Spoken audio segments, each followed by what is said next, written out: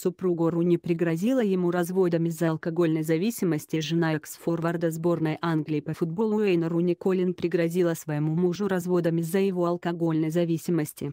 Об этом пишет The Sun, супруга нападающего клуба главной футбольной лиги. MLS. DC United заявила, что Уэйн может часами находиться дома в одиночестве, потребляя алкоголь и играя в компьютерные игры.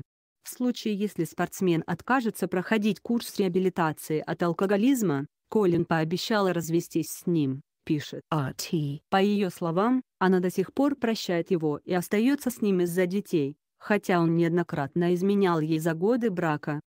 В декабре 2018 года Руни арестовали за то, что он выкрикивал нецензурную брать в общественном месте, находясь в состоянии алкогольного опьянения, сообщает Спортэкспресс. Изначально футболисту выписали штраф в размере 25 долларов, а после его арестовало столичное управление аэропорта Вашингтона.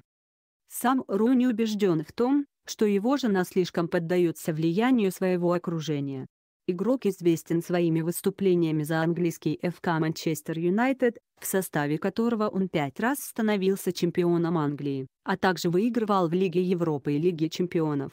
В 2018 году Руни перешел в американский DC United, в составе которого провел 19 матчей и забил 12 голов.